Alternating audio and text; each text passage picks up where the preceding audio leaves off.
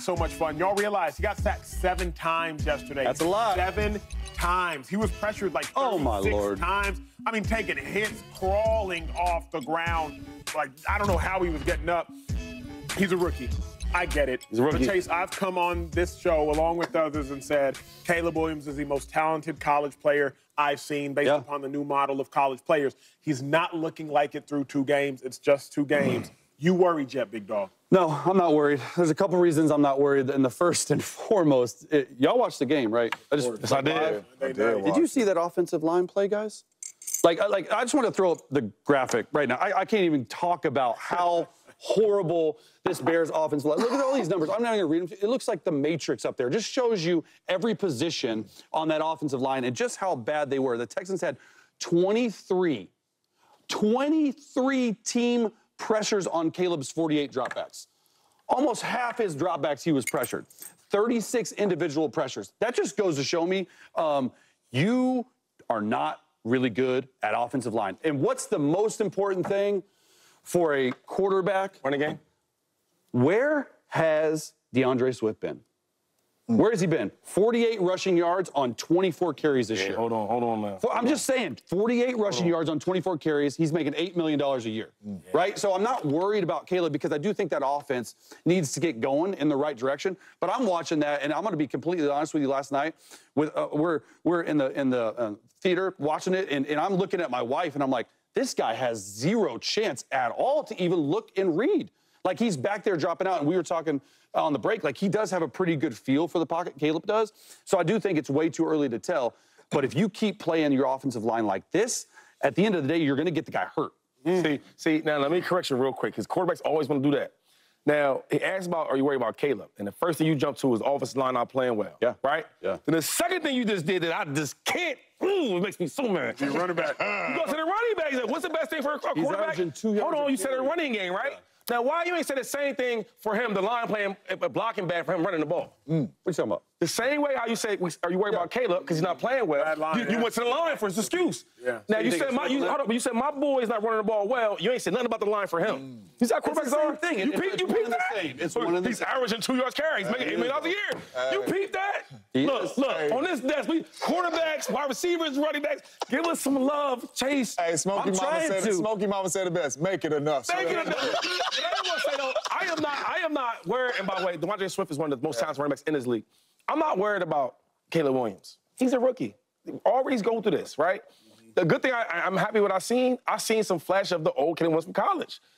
Elusive, bre- breaking some sacks. Right now, it, it didn't all pan out to what we want to be. But look at this right here. hey, hey. If he made this last dude miss, that's on that's a highlight for Fox Still for two weeks, right? Um, now some of these plays, though, I will, I will, I will say this: Lord. even the line wasn't blocking well. Cole Kmet whiff right there. But there's some times where he, it's third and one, third and twos, and you throw the ball, it got to be hot. You got a three step reads, three step um, um, drops, and you hold the ball for five seconds. You can't do that. So I think he's still learning from college and the pro the difference.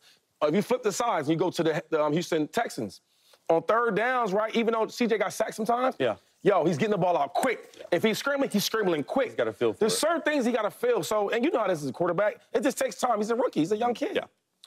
Um, can you can you, can y'all help me out a little bit because Yeah. I could try. Caleb Williams has not played great these first two. No, no, Nope. no. He- he no. has Play like a rookie. great. Play like a rookie. So yeah, so we're not we're not gonna like throw games. that under a rug. He's he's been struggling. we yeah. see that as Okay. clear as day. Yeah. Um, we ain't trying to back something up before No, no, you blame no. it. I just want to know because I blame this on the offensive coordinator. I want to know. The Chicago Bears knew that they were taking Caleb Williams. Okay. That's why they drafted Rome Odunze right behind him. That's why you traded for Keenan Allen. And I know Keenan was not there, but Keenan was there week one. Right. Why do coaches want to draft a player and they know their skill set where he's coming from USC and we spread out and he's making quick decisions, getting his ball out of his hands. When he has to create, he can create. Why bring him in and be in jumbo formations and two tight end sets where he doesn't does best? Can you help me out with that? I mean, look, at the end of the day, he comes from Seattle Seahawks, right? And they were under center play action with Geno Smith. Geno Smith is a completely different quarterback than who Caleb Williams is. Mm-hmm. Thank you. And I will say, though, I, I agree with you a little bit on Shane Waldron, who's the offensive coordinator. Why are you throwing the ball 48 times on the road? At least try to run the football with my guy DeAndre Swift. And it's the offensive line not only for Caleb, but the running game as well. I just think you're putting too much pressure on him with these plays that you're calling. But but not only that though, like I'm okay with you dropping back to pass. Get him into some good passes. I drew, I drew What you this got play. right there? I drew this play as Oh, we was it's a- over here. oh, because this is what they was in. This is what they was in. You can't really see, can't it. see it. But they got It's a a fullback and a running back in the backfield with Caleb Williams, and they throwing a little jet sweep, and the receivers is blocking. And they ran it like seven times. It worked once. But to be honest with you, though, that's your last quarterback's play. This quarterback's play, he is special at throwing the ball. Open the offense up. Put three, four wide receivers out there so my man could see the pressure and get the ball out of his hands. The very first drive, that's what they did. They spread him out, they let him read option and get the ball out of his hands, and then you want to bring in two tight ends, help him out, offensive I, I coordinator. thought that Keenan Allen not playing was a huge loss. How does that affect a rookie quarterback when you have Keenan Allen in the slot, especially on third down? Well, Keenan is one of them dudes that I'm so good at running routes, I'm going to show you I'm open with the separation. He did not have that. And if you're running quick game, Keenan is special at quick game because he's going to create separation off the release. He did not have that, but still with the play call and you throwing all these slip screens and quick screens and all that, and you got a special thrower of the football. I put that on the offensive coordinator. Is Caleb playing well? No. But I blame the offensive coordinator for some of the play calls that he's calling. I'm worried. Uh-uh. You say that like you worried a lot. Yeah. You worried a lot. I am. I'm You worried like she called, she, on. she's like she called like it's late, like she late. You worried like that? Hey, hold on. My, my dog, my oh. dog just like with the sad voice. though. Yeah. I'm worried. Hey, yeah, you said you, you said you late. You sure? You sure you're worried, Acho? You said Are you that it- it might- it- it's, it's probably mine. Yeah, he worried. Yeah, he worried. Man, this better be um, good if I'm you're that worried, worried. and it might be the, the psychology in me. Y'all know I got my master's degree in sports psychology. I am obsessed with the That athlete's smart. mind. Smart, smart. It's this. Losses take a toll on you mentally, and the beating takes a toll on you physically. Mm. So now through two weeks of playing football, Caleb Williams has not looked like a competent quarterback. He's looked like a rookie quarterback. There you go. But in Caleb Williams' mind, he's used to dominating.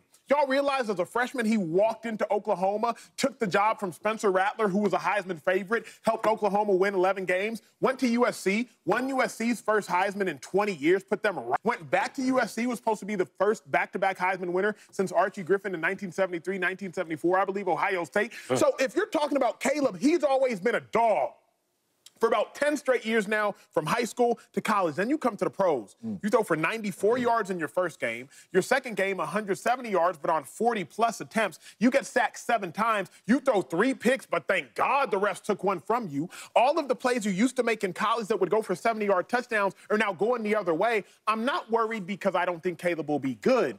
But Caleb is going to have to have so much mental fortitude. but what's the question we have about Caleb? Mm. the mental toughness. That's a question we have. kept now, in large part because he wears it on his sleeve, but of anybody on national television, I believe I'm probably Caleb Williams' biggest fan. He got me blocked on Twitter. I don't even know what I did. For real? Swear.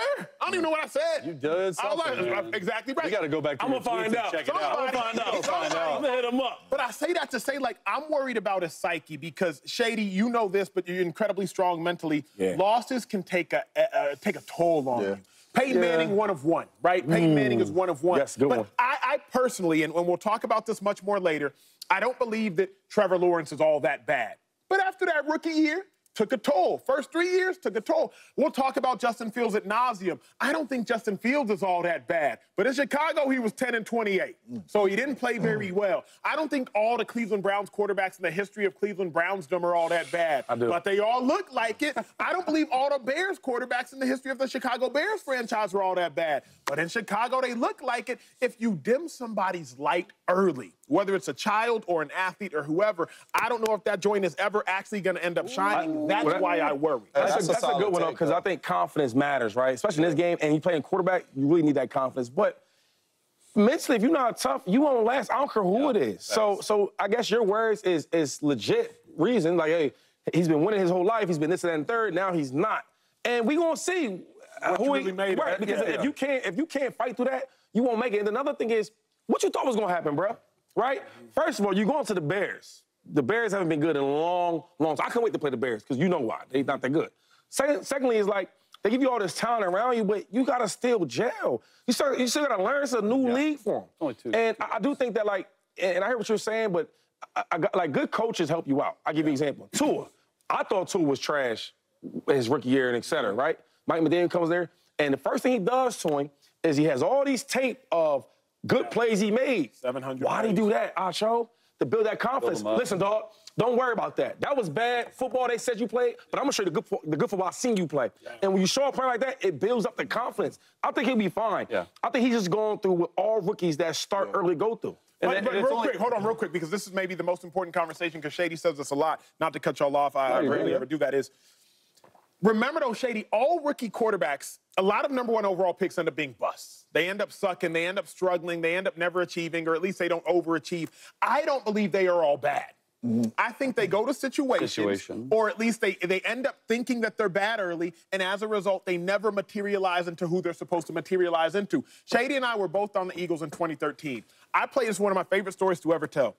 I played Odell Beckham before he made the catch, mm-hmm. and I played Odell Beckham after he made the catch. This is a true story. We played Odell Beckham his rookie year.